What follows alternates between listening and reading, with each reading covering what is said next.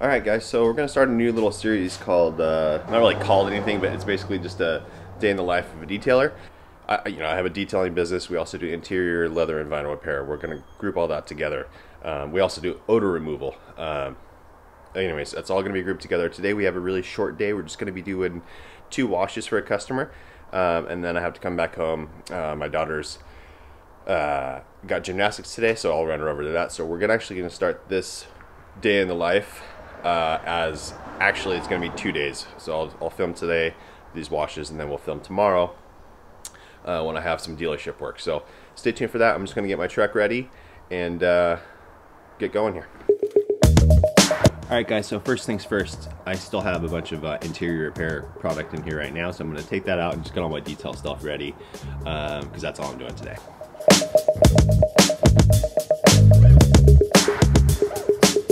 Alright guys, and so to save a bunch of money, um, we only use brand new towels, um, but we do buy them from Costco. Um, there's good and bad to these, but we, we do just toss them after one use.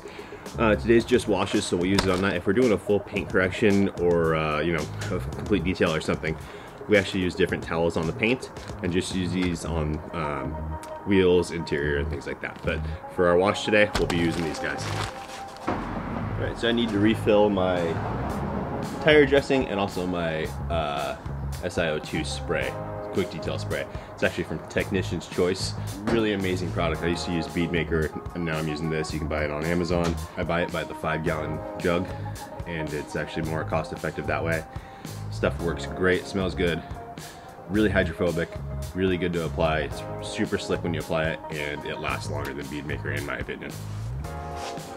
For my tire dressing, I use Aquashine from Carglaw. It's a local manufacturer here in Southern California. Stuff works great, it's cheap, smells good. Um, you can dilute it down to use on interiors. You can use on engines. It's a water-based dressing, uh, which is what I like. I don't like to use the uh, solvent-based dressings. Um, so we'll stick to this. So as you guys can see, I actually keep my uh, detail chemicals really simple. Um, I really carry four different chemicals. So I use a, a carpet cleaner, an all-purpose cleaner, my ceramic detail spray, tire dressing, compound polish, and uh, cleaner wax. Um, depending on the service, I also do carry some other higher grade waxes as well. Um, but I also do ceramic coatings and all that kind of stuff. So uh, this is my basic little chemical box. Super simple. Keep it simple, keep it easy. When I first started, I uh, bought in from a company and they sold me maybe five different waxes, three different compounds, three different polishes. Like it was just overkill. I never used all that product. Um, I found finding the product that you like to use the most, the product you're really familiar with, and sticking to those works best. Um, obviously, different paints do require some uh, alterations in that. Um, you know, if it's a harder paint, you may need to go with a more aggressive, uh, more aggressive compound or polish. So, uh, but in general, this is what works perfectly. And uh, I do have other stuff in my in my bins here, but this is my my go-to. So. Uh, we're gonna get on the road, and uh, actually, I'm gonna go take my daughter to school. Then I'll get in the get on the road and get this going. All right, guys. So just dropped off my daughter at school we're on the road heading up to uh, heading up to Carlsbad to take care of this customer. Uh, there's a lot of traffic right now early in the morning, so it's probably going to take 35 minutes or so to get there. Uh, this is not my usual deal. This is a new customer. We're building relationship, and I'm working on building more business just within that tight bubble of Carlsbad um, to build more business there. So I'm doing these jobs. I wouldn't normally do this, right? So I'm going out to do two washes. Um, it's gonna be 110 bucks for the two of them. You know, it, that's fine. My, my hourly rate while I'm working will be fine. I'll, you know, average 50 bucks an hour. I usually like to try and keep it around 75 an hour. But 50's 50 is okay when we're, uh, you know, trying to build a new new client base in a certain geographic area.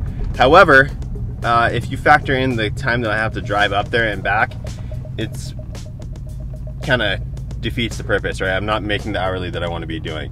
Um, but we're trying to grow it. Um, I figured it'd be good for you guys to see how we work on growing a specific area. So that's what we're doing. I'm hitting the road. We'll uh, pick up when we get there.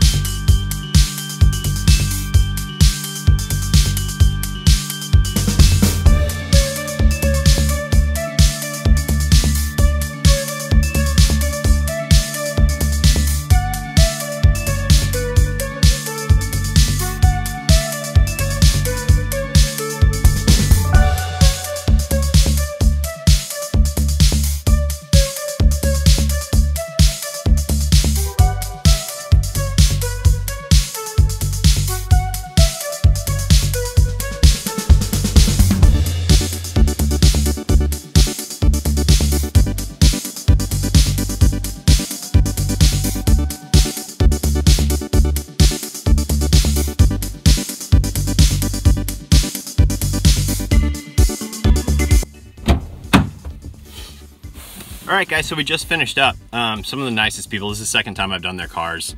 Like I said, I'm trying to build this area up more. Um, they're really nice couple. They actually own um, a business, uh, they're a business brokerage, um, but they have two BMW X5s, super nice people, so I enjoy working with them. We're gonna head home now. Uh, I gotta meet a guy I'm selling some old tires from one of my other vehicles. Uh, I just got that Sprinter van. Um, the, the tires have like 500 miles or something on them, so I'm just, I put them on OfferUp. Some guys can pick them up. So we're gonna head home and do that right now. All right, hey guys, uh, so tires are gone just took my daughter to gymnastics. We just got back. I'm to be prepping my truck now uh, for work tomorrow. Uh, I don't have any details lined up or car washes lined up, but I do have some of my dealership work. I'm doing some interior repairs. So um, first dealership in the morning, I go and I just check the lot for uh, cars with odors and I treat the odors using ozone machines and a, and a collection of other different chemicals to, to neutralize the odors um, on, with, on the, within their lot. Um, so I'll get that done. Um, I go there really early. I'll take you guys along with me. We'll check in in the morning. Uh, so we'll start there. Then I'll go to, over to one of my other dealerships where we touch every car uh, on the used car lot. Any new pre-owned vehicle that came up on their lot, we, we go through, we install plastics in the front to keep the, the carpets clean until the car sells. We vacuum it out. We do any kind of final detailing work that the on-site detailers didn't really do a good job with. Um, and then on top of that, if that's all the car needs, perfect. If it needs any repairs, then we'll do that as well. So uh, we'll take you along for that. And then um, we'll go to one of my independent dealerships uh, and walk the lot, see what kind of work they have uh, for the cars that uh, they just got in there do any repairs as needed also there. And then if I have time, I'm gonna be trying to uh, get a new account. It's actually right by one of my other ones. Uh, they have a ton of used cars out on the lot. Um, and I don't know if they have anybody doing what I do. So I'm gonna see um, about that. I'll stop in and see uh, I can't remember the guy's name. Go talk to him and uh, see if we can drum up some new business that way. So uh, stay tuned. Um, I'm just gonna get my truck ready now. Uh, we'll do a little time lapse of it. But other than that, um, I will see you guys in the morning. Peace.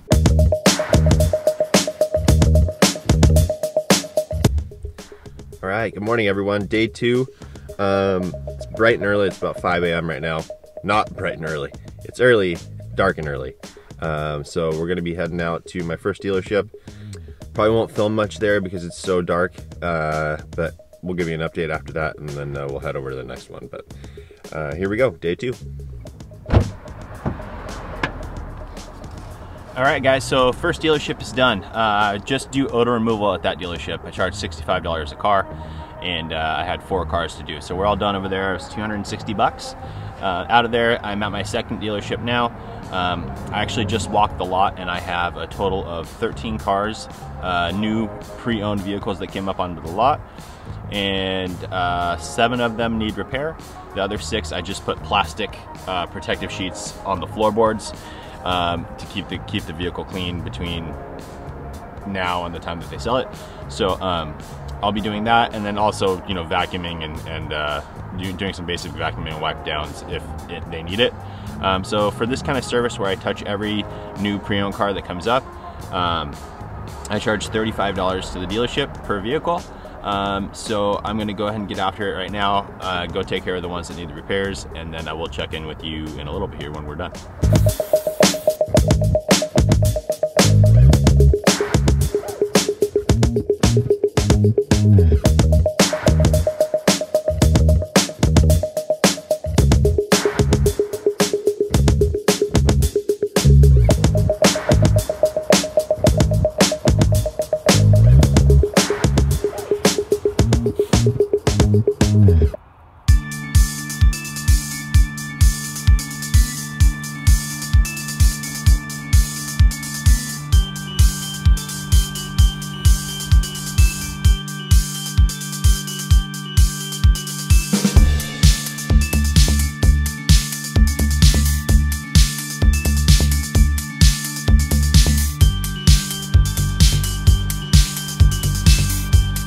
All right, we're all done. Uh, just finished up all the cars.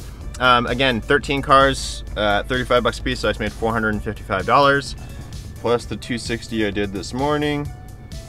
So we're at 715. It is currently 10 a.m. So good start to the day. Uh, I'm gonna go drop the, the bill off and then um, I'm gonna be going to one of my other independent dealerships, seeing what they have, and then we'll see you on time um, if I'm gonna stop by any new, new dealerships to try and drum up some new business. So uh, stay tuned, we're heading over to the next one. All right, guys, I just got to this other other dealership of mine, and it is dead over here. They usually have probably about 60 cars in the lot. Um, I would say they probably only have about 30 right now. So they're going to auction. They're going to be buying a bunch of cars. So it's going to get busy here within the next week or so, a couple days to a week. Um, but for today, it's just dead. So uh, I'm to run over to another dealership that's right in the area and try and drum up some business over there. Um, just, I'm basically, I printed up a proposal for them. I'm just to go talk to the guy that I need to talk to um, and uh, see if we can get something going down the road. So um, I'll update you guys after that and we'll see how it goes. All right, guys, so uh, I went by that new dealership that I'm trying to get. Uh, the main guy that I need to talk to was not there. However, I did leave behind my, uh, my little proposal for him. I walked the majority of the used car lot, found a bunch of cars that need repair, so that's a good sign that they don't have somebody currently doing that. Um, so yeah, I, I think uh, I'm gonna be sending him an email now, heading to the office and sending him an email, and I think that that, uh, that should come through. I'm feeling pretty confident about that account. Fingers crossed. Uh, then after that, just went back to the dealer previous to that one where they didn't have any uh, any any new cars, uh, but just went and grabbed a check. They I from the last month. I don't I don't collect a check every time from them, so picked up a check for 1260 from them. And uh, now I'm just gonna head home, get some lunch with my wife, um, and then uh, go pick up my daughter from school, and then I'll head into the office. But for uh, for the day in the life purposes, this will be the end of it for this one. Again, it's 11:43 right now. I'm heading home to go get some lunch with my wife, relax the rest of the day, hang out with my kids. It's a good life. Um, I'm gonna be working on getting more accounts, like I said, just so I can continue to do this every day. Because right now I have one big day during the week, and then the other days of the week are just, you know, they're okay, but not nearly as good as the, that one day. So uh, I'm to focus on putting a lot of effort into creating that one big day five days a week. So, um, you know, start really making some some serious money with that, as well as investing my time into some of my other some of my other businesses that we'll talk about down the road. All right, guys, uh, we'll see you on the next one. We'll do another day in life and. Uh, probably, I don't know, maybe for Friday and Saturday or something. All right, we'll see you on the next one, guys. Bye.